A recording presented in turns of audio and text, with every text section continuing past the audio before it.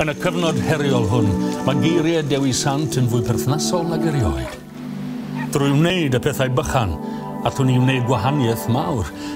Os nad oes symptomau gen ti a bod ti eisiau cefnogi pobl sy'n aros gartref oherwydd y coronavirus, dyma bum ffordd ddiogel y gallu di helpu.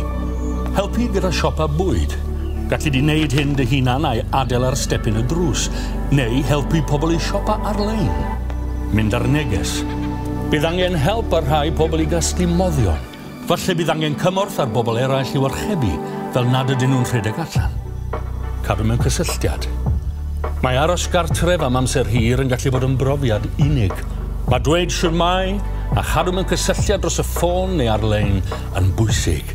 Anog pobl i gadw'n brysur yn gorfforol ac yn feddyliol. Beth am rannu cwbl o syniadau ar sut i gadw'n brysur neu gadw'n heini? Ymuno a chymunedau ar-lein lleol. Beth am annog pobl i ymuno a ffyrmau a grwpiau Facebook lleol? Fel bod modd iddyn nhw gadw mewn cysylltiadau cymuned a gweld i bod nhw ddim ar eu pen eu hunain. Mae gan Gymru hanes balch o helpu'n gilydd ar adegau anodd. Dyna yw yn natur ni. Gyda'n gilydd fyddewn ni drwyddi.